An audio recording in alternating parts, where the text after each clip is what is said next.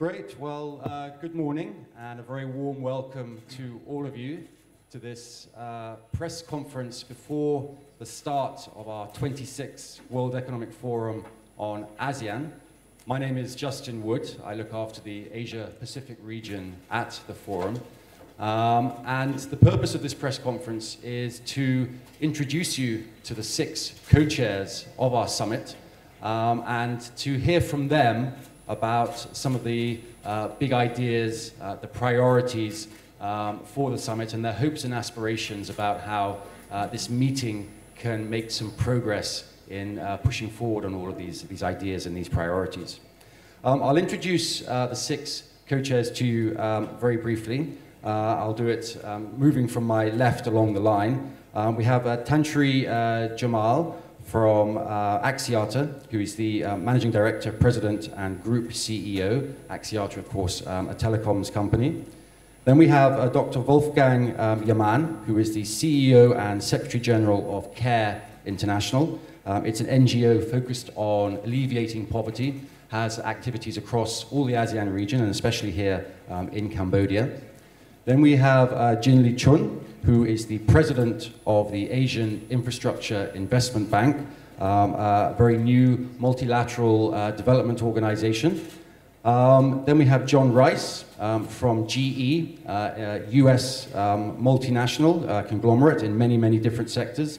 Uh, John's based in Hong Kong. Um, and then we have uh, Tan Hooi Ling, the co-founder of Grab, uh, Grab, based in Singapore, it's a uh, ride-hailing service, uh, example of a new economy company.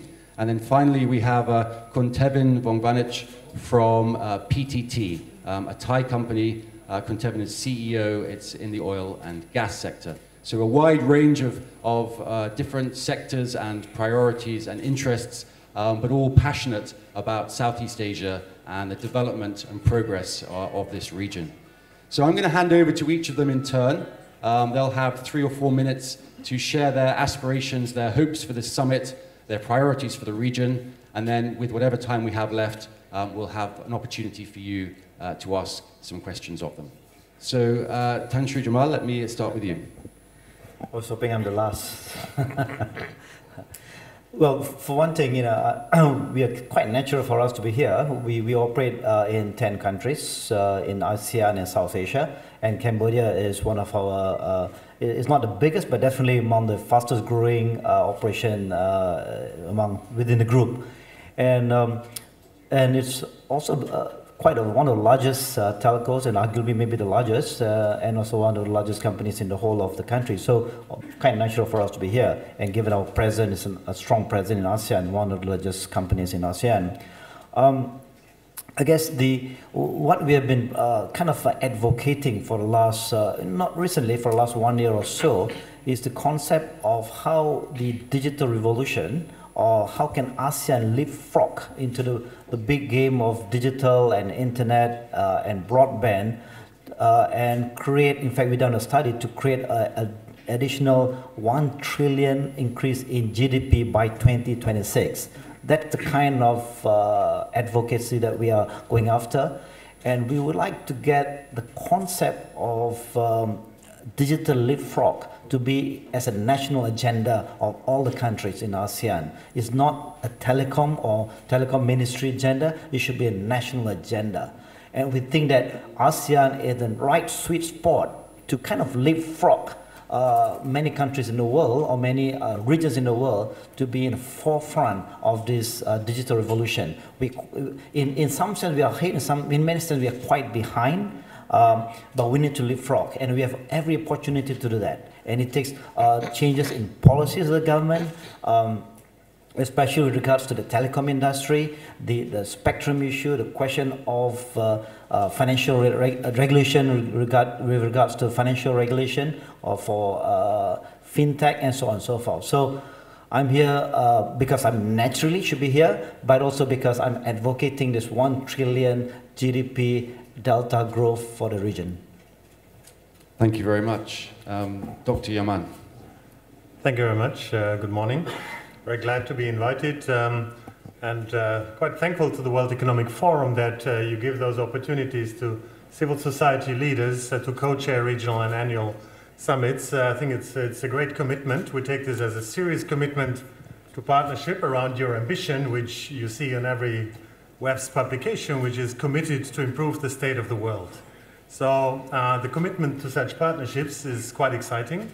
Um, they're supposed to be constructive, uh, but they also have a bit of a dimension of challenging one another. So uh, civil society does speak about uncomfortable issues uh, like inequality, like shrinking civic space or human rights.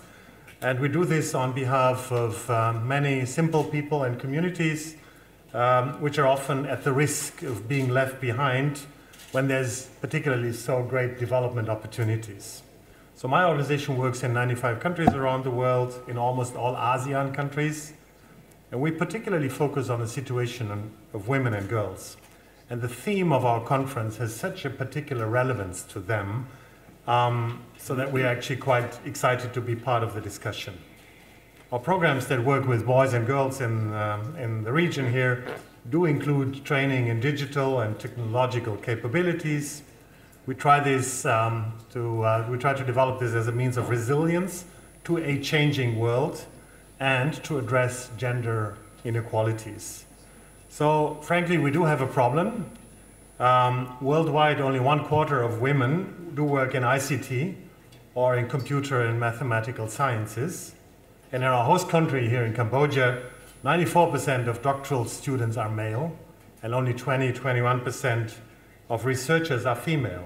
So if this is left untouched, all these burgeoning technological advancements run the risk of even increasing gender inequality. But we need to ensure equality now if growth, growth is supposed to be truly inclusive. And the fourth industrial revolution that we're in the middle of um, has these unprecedented opportunities um, to address inequalities that have not been addressed by previous revolutions. Research has shown, this is a McKinsey study, that if we advance gender equality now, as much as 12 trillion US dollars could be added to the global economy by 2025. So closing the gender gap is not just a question of equality and fairness, it's also about good economics. So allow me to uh, focus on feminism, which is not a fad. It is where huge potential economic gains, gains become unlocked. And we have to talk about um, inclusive growth by prioritizing and promoting girls in the digital skill force today to reap greater dividends tomorrow. So we are working with local communities and we're trying to bring them into, into what's happening in terms of those rapid developments. And I encourage all participants of this conference to take the opportunity to engage with civil society representatives, which are many, and seek the opportunities that come from our connectedness to the communities and the perspectives they bring. We have seen in many parts of the world how fragile societies and business environments can become if we do not address those questions. Thank you very much. Thank you. And let's move on and hear from President Jin at the Asian Infrastructure Investment Bank. Thank you, Justin. Uh, Asian Infrastructure Investment Bank is a multilateral development institution which has now about 70, 70 countries, and by the end of this year, we will have uh, about 85 member countries from across the whole world. The mission of this bank is to promote a broad-based economic social development through investment in infrastructure. And we believe that uh, infrastructure is very important for the emerging market economies in their efforts to move to the upper middle income countries and improving the livelihood of the people. And a poverty reduction would be the logical and natural outcome of the broad-based economic social development. ASEAN countries are the first group of countries which participated in the setting up of this bank. And we attach great importance to the connectivity in ASEAN and between ASEAN and other neighboring countries. We believe that uh, our efforts to promote investment in infrastructure and other productive sectors will create great opportunities particularly for the young people in Cambodia and this region. And I think uh, uh, we work, uh, our efforts to work very closely with the private sector can help the government to release resources to focus on social sector, on environmental protection, on some other kind of, you know, very important uh, uh, areas. That is the very good, uh, I think, division of responsibility between the government and the private sector. So we want to do something in this area, and we are having great cooperation with the World Bank ADB. We are looking forward to be working in this region. I thank you very much. Thank you, President Jin. Uh, uh, John Rice, the uh, priorities and perspectives from GE. Well, thank you, and, and let me also add my thanks to the World Economic Forum for, for choosing Cambodia uh, to, as the, the, the, host of the meeting. I think that's a reflection of this country's great progress over the last 30 years with, with, with more to come, right? There's still challenges and opportunities, and I think we, we all recognize that. Uh, the, the market size, ASEAN market size speaks for itself almost 700 million people, a growing middle class, markets that have grown uh, on average over 5% over the last 15 years.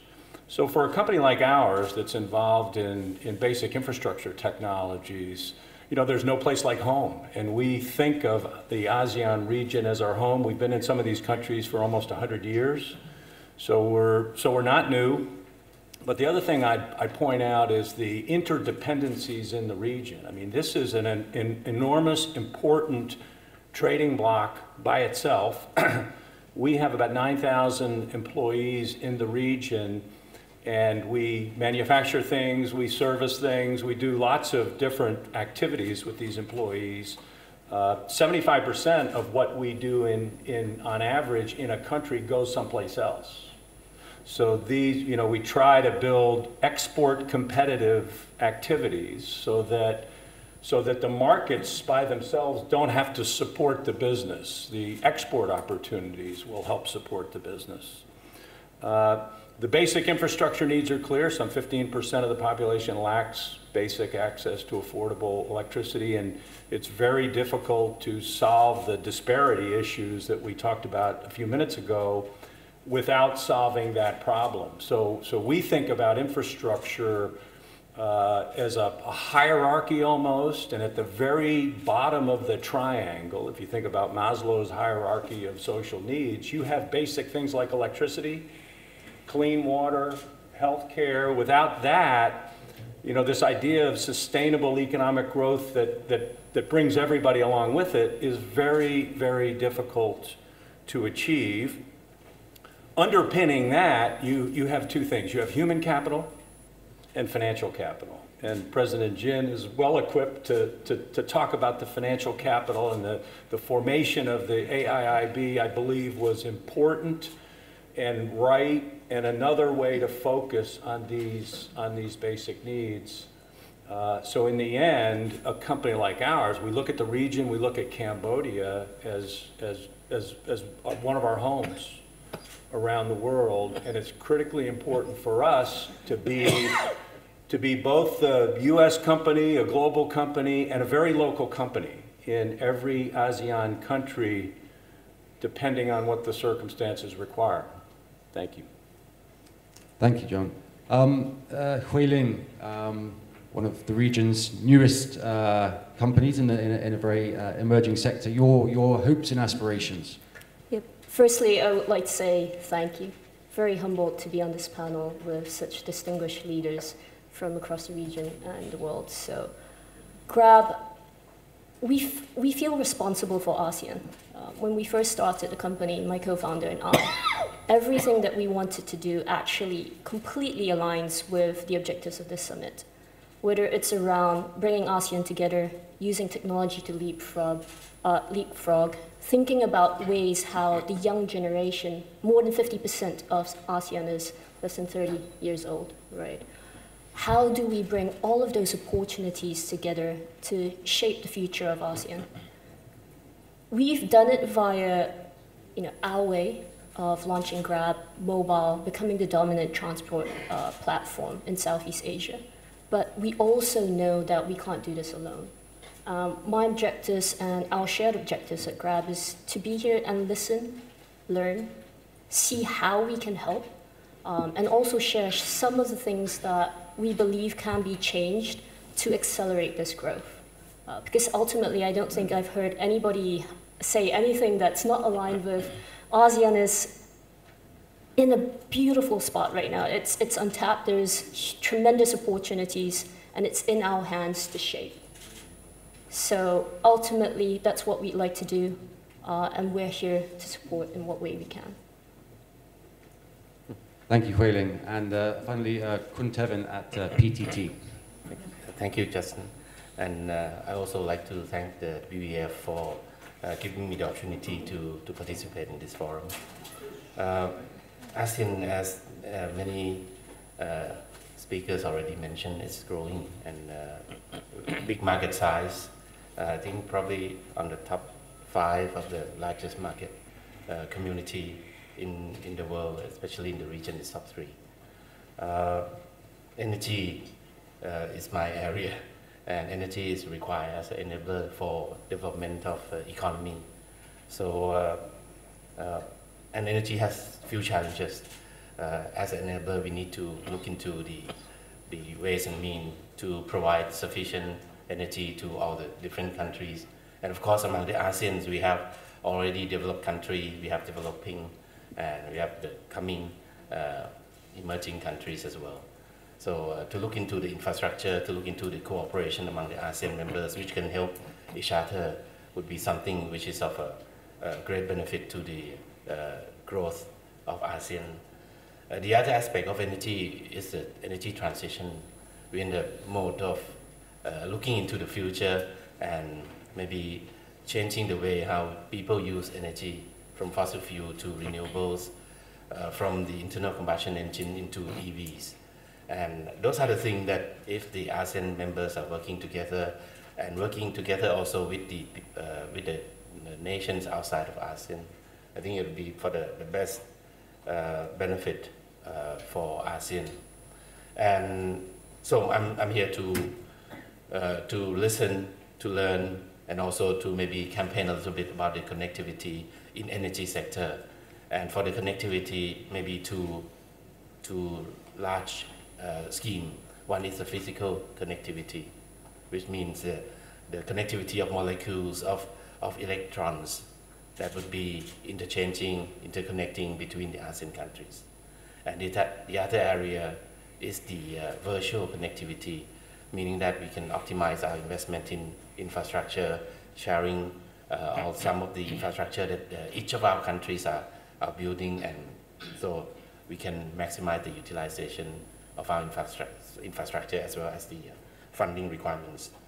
Uh, ASEAN has one organization which has been set up for I think over 30 years, which is called ASCOPE, the ASEAN Cooperation on Petroleum, uh, comprising of the 10 uh, national oil companies. And we are currently talking about this project of connectivities on both areas.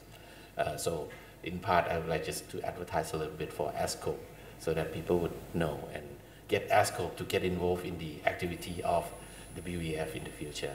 Thank you. Thank you very much. So you've heard from all the co-chairs um, and their priorities and their hopes. Um, we have a few minutes left. Um, are there any questions that any of you would like to put to any of our uh, co-chairs? Please. And uh, before you ask a question, if you could state your name and the organization that you represent. Thank you. Uh, this is Yasu Oto with Nikkei, uh, which is Japanese media. Uh, President Jin, uh, we keep hearing that uh, lately you see Mr. Nakao of ADB uh, quite frequently. And I'm just wondering if, what is the nature of the relation with ADB?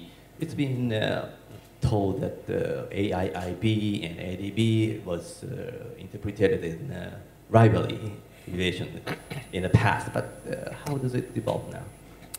Uh, thank you very much for the question. Uh, President Nakao and I have been friends for more than decades, and uh, as you know, uh, we not just personally have this friendship, but also we share the common objective of promoting and economic and social development in this region.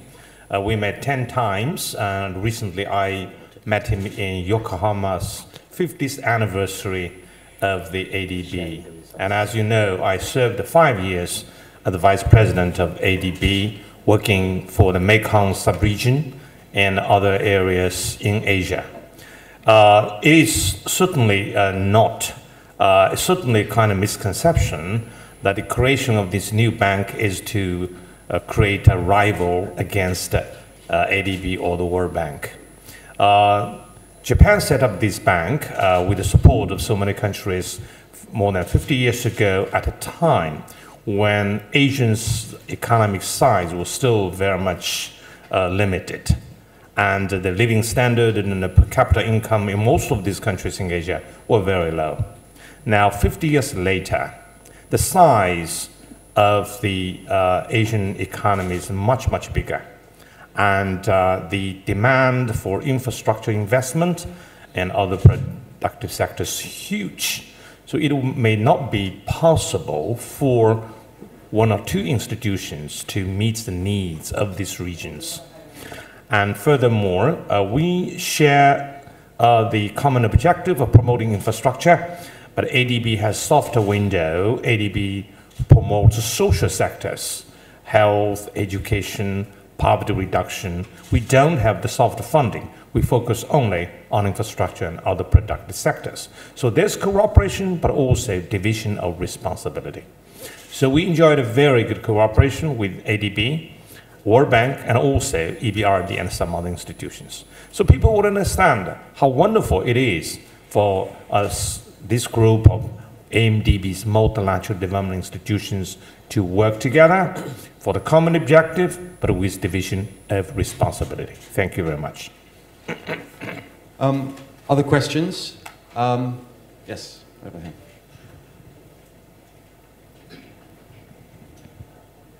Thank you. Hi, I'm Kamarul from Astro Awani, Malaysia. One for Tan Sri and one for Hooi Ling, and of course AIIB. It's all focusing on the digital leapfrog that Tan Sri mentioned before. The number is nice, it's one trillion US dollars. But the gaps of poverty and the broadband digital gap, for example, even in Malaysia, your home country, mm-hmm. in Borneo, for example, why can't ASEAN countries work on specific singular project like the island of Borneo has three ASEAN states, for example? The question for AIIB is how much is going to be the focus on digital broadband infrastructure for this leapfrog to happen? And uh, to add into Grab and Hooi Ling, since you're the youngest in front here, and you're the new economy captain, still unemployment among youth is high.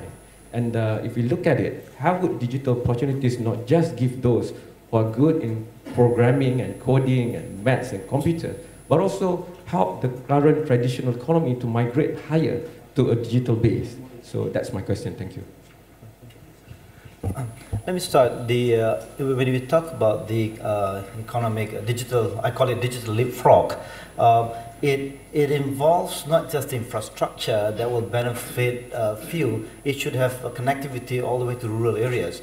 You're right. You know, even in Malaysia, uh, connectivity has not reached uh, the basic connectivity has reached 99% of the population but the broadband connectivity is still lagging. Precisely, you know, I think uh, it requires a lot of both the uh, public sector and the private sector to work together to, to make it happen.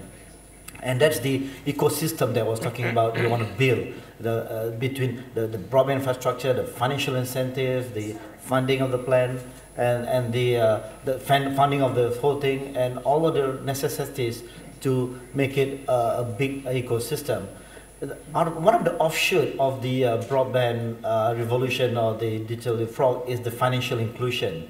And one of the things we want to do is to be able to reach the uh, maybe Malaysia less of a case, but still uh, quite important. Uh, the, what we call financial inclusion on connectivity in terms of uh, getting people for unbanked customers or underserved customers and to some extent more of a convenience, right? Now that's more applicable to perhaps more uh, in the cases like Indonesia and many other countries, but still it helps uh, when you talk about poverty to get even people in the poverty level to be able to be part of that digital revolution. And and in financial uh, inclusion, like I say, is just one of the many things, but perhaps one of the biggest things that affect their life uh, on a day-to-day livelihood. Uh, your, your last point, whether ASEAN can work together, obviously we can and we should. Uh, and there's a lot of things we can learn from each other. Perhaps the, the whole uh, broadband community across the, the, the, the, ASEAN region, the connectivity from one country to another, and of course one of the most favorite topics has been the roaming, data roaming. And I think eventually there, should no there shouldn't be anything called roaming. Should be the, the words of the past, uh, but it takes some time for it to be evolved.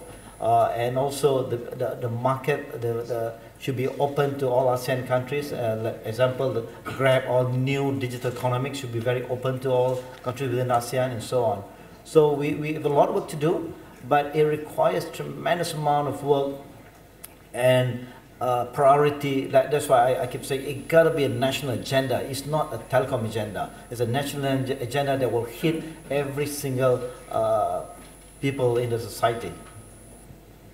Um, President Jin, your... Uh... You know, it's very much interesting to note that uh, uh, all sectors are related in this world.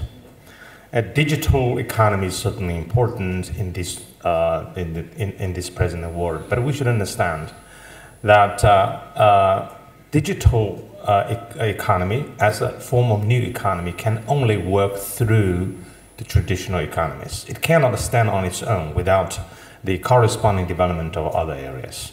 Uh, digital economy, in my, uh, and to my understanding, is to improve the efficiency and uh, cost effectiveness in doing business. So when we build power plants, the power generation and transmission certainly helps. But when we build roads, railways, ports, airports, seaports, and all these kind of sectors, digital economy permeates, permeates all these sectors. So even if we do not directly in invest in digital uh, sector, we are helping with it. And also, I believe private sector is the best partner for digital economy. Thank you. Really? President Jin, I'm so happy you brought that up because as I think about what examples companies like Grab or other companies can help via digi digitization, you're completely right. Grab did not uh, we did not invent transportation. What we did was we applied technology, mobile technology, thinking about it differently to make it much more efficient than it was before, to help it leapfrog from street hailing, from the radio, to something that was way more efficient via data and infrastructure. So as I think about your question, let me use Grab as an example. Uh, how can we help with unemployment? that was exactly the problem set that Anthony and I, myself, my co-founder and myself, set for ourselves. To date, what we have done is we currently have more than 850,000 drivers on Grab throughout Southeast Asia. And these are all drivers who can decide when, where they want to work, and if they want to at all. We have part-time drivers, full-time drivers, and we have drivers who are from all generations, whether it's young or older. Why I use this as an example is because I believe technology is not for any particular generation. We need to think about it in segmented, tailored ways. And we need to understand that when we are thinking of building the next form of economy, we need to take everyone along with us. And we need to understand what the changes and shifts in dimensions are and augment for it. Let me give an example of what we're doing as well, um, just because that's the industry and the company I know best. Grab, now that we have been able to solidify a strong working business model that brings inclusiveness for our drivers, it brings safety, accessibility, and convenience for our passengers, what we're trying to do now is take the same principles and apply it to payments, the financial services industry. There's a ton of opportunity there again. I'm, I'm not going to talk about Grab, but I want, want us to think about this as a mindset. Uh, when we started the company, we were very, very clear that we did not want a single bottom line. We would not have started a company otherwise. I think about it as a Venn diagram of three P's. People, the people we're serving, the grabbers that we're serving, the partners that we're serving. The other P, which is critical for it to be sustainable, is profit. It needs to be a sustainable business model. And the third P is the planet. Why we're doing this with transportation and, and payments is because it's the only scalable way for us to continue growing as a human race while being sustainable without destroying Earth, Mother Earth as is.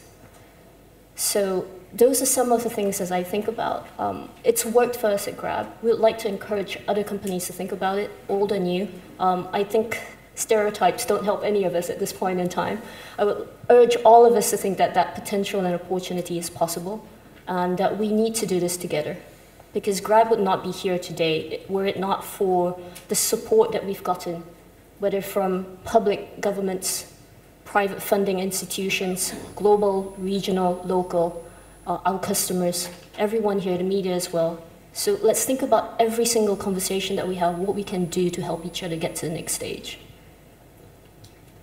Um, thank you very much, Hooi Ling. Um, unfortunately, we've run out of time.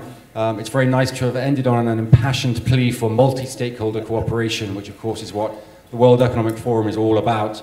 Um, we could continue this conversation and it would be fascinating for, for many more hours, I'm sure, but hopefully you'll get to hear from our co-chairs in their sessions over the next two days um, and many others as well. Um, but unfortunately, now uh, some of our panelists have to, some of our coaches have to get to other sessions, so I'm going to draw this to a close. Thank you very much, and thank you, co-chairs, for joining us. Thank you.